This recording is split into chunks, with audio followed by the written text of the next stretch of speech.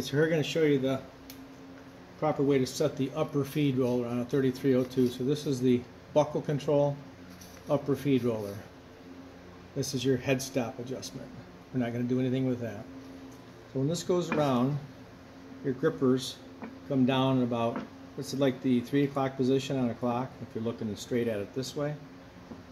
They come down, you'll see the upper feed roller. It's going to spin a little bit and come back up. So we want that to spin 1 and one eighth revolutions.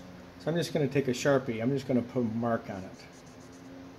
And I'm going to just hold my finger, a little bit of pressure on it as I turn this around.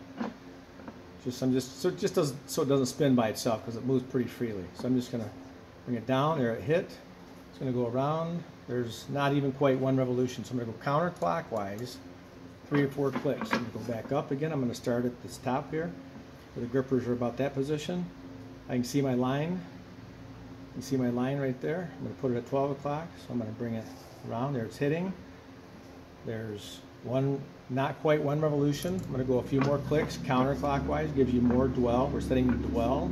It's not a pressure, it's a dwell. How long does it stay down? So there's one revolution, about one and a sixteenth. I got to go a little bit more. I'm going about five or six clicks each time.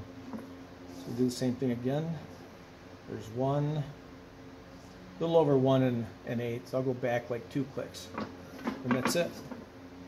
That's how we're setting the upper feed roller dwell. 3302 Ryobi, same as the 3300, 3304.